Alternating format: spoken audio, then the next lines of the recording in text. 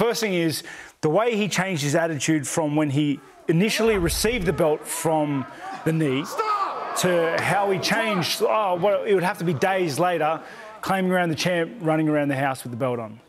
Okay, because his initial his initial reaction to him getting the belt that way wasn't happy. He was not a happy chappy when they put the belt on him because of the, the no contest loss, Right. uh, win for himself.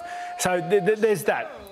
But also, he knows how that fight was going and how hard the fight is going to be moving forward. So he's just jumped onto the opportunity to try and get his name out there and make as much money in the lead up. You know, there's a business side to the whole game thing as well. Yeah, you know, it is. but I don't know. I don't know how I feel. Tai, what do you reckon? He, yeah, he's running with it.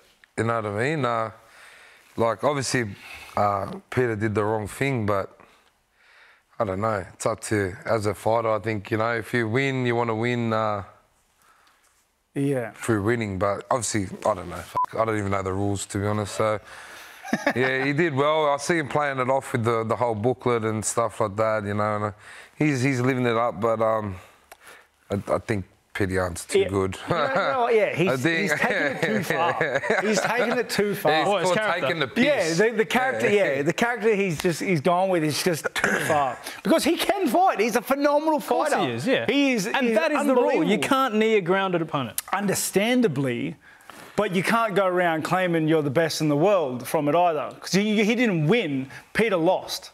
And I'm calling him Peter. Okay. Yeah. How do you Uh, say Sterling his didn't name? win. I don't know how to say Piotr. it. I'm calling him Peter. Get fine. Sterling didn't win. Peter lost. Okay, that that is that is Hmm. how it happened. That is the like undeniable truth of the matter. Okay, so you can't go around saying I'm the champ and I'm the best in the world because you didn't win the belt. You were given it.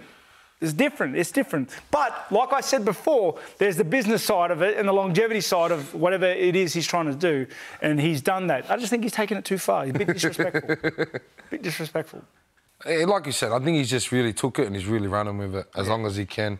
But I think uh, on the weekend, um, there's, you can't run anymore. Yeah. You know what I mean? Yeah. But uh, like you said before, Aljamain's a, he's, a, he's a good fighter.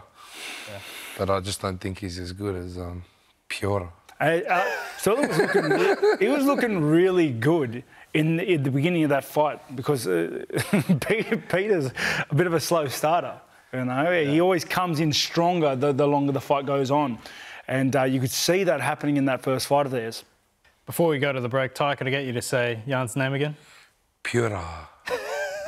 Piotr Yan. Piotr Yan. All right, very well done. We're going to go to a break on Fox Sports. Stay with us. Right after this, we'll preview Hamzat Chimaev's return to the octagon. The leap is creating angles. Look at this. Now he's got the right angle. Oh, he's got to By fight again. He's gonna sleep if he doesn't